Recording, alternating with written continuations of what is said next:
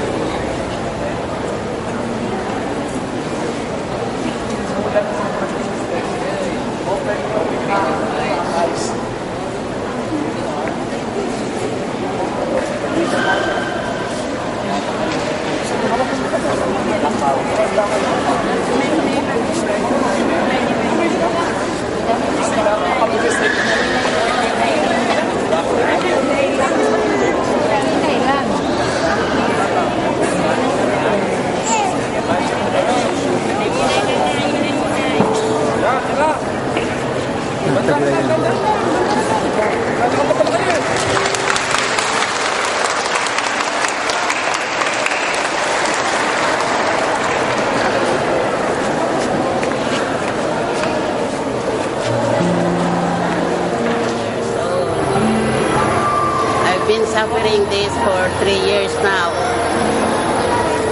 Uh, aside from my stroke, I have a, a diabetes.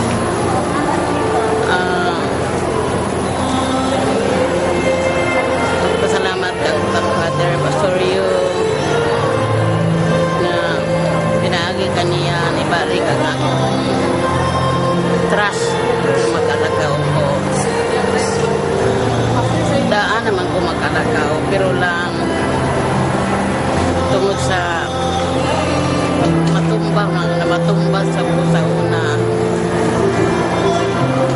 una ni Barik ang akong sa hadlok na mulakaw. Pero karon ibalik na sad ang akong trust na makalakaw ko pagbalik. Panginauton ko nga si Father Osorio magpadayon sa iyang misyon sa pagpanamba.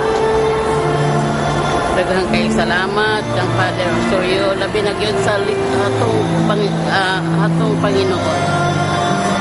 Lord, thank you Lord sending Father Osorio to us.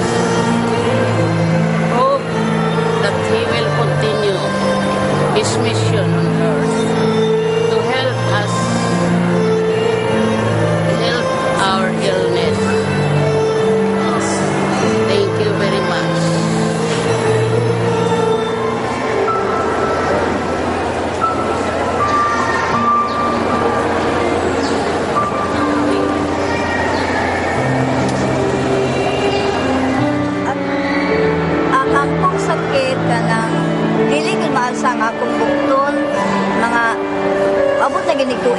tuig kapin labi mi mga hago biya kay ko kay da ako magbantay ko apo ako bitan na ang trabaho sa mong unya kani kay na, nakadungog man gyud ko nga na ay hiling ni Father Osorio kay takakugman man ko dayon naka at gahapon im- plano gyud kong simba wa magpahiling unya kay gikuha man ko sa kong anak dito sa makasandig nya gipabantay man ko apo po na ako gihapon kako ko sa eskwelahan.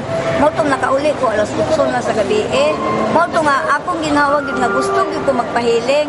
Mo to nga paghibaw na ko nga niya sa kanuluan ako gyud giapas dire. Kung man na baya may layo gyud may amo pero ako gyud gi apas dire. Para gyud ko nga makambalan unya tinuod ang akong bukton karon.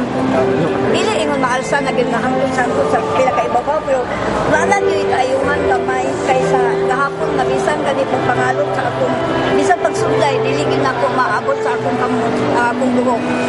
Kanila sang tuo nga kamot ang nako karon nga gyud akong kausaban sa akong bukton Magpasalamat ako kay Father Osorio. O gusto pa gyud ko nga kung napay laing hiling nga duol lang gyud dinhi sa kanang kugman kana lang yung maabot ko na ko sa akong pamasahe. Mo abot mo apil paghihapon gyud ko. Ug wala ug daghang salamat. Sa iba ako si Felisa Cabonillas nga taga Kugman Cagayan de Oro. Ni apas gyud ko diri sa Ako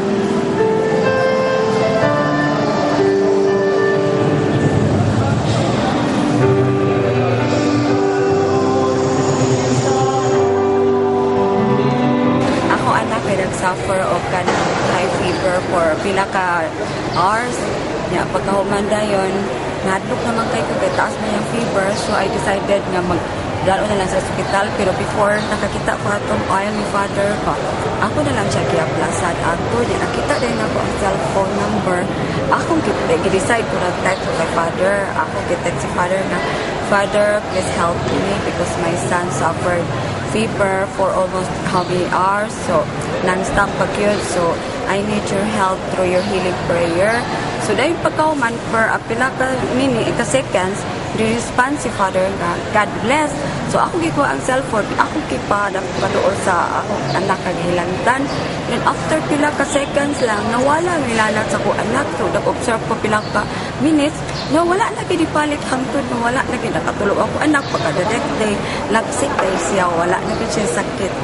Nag, ana lang, extended na ko kay Father, thank you for the help. Ana ako.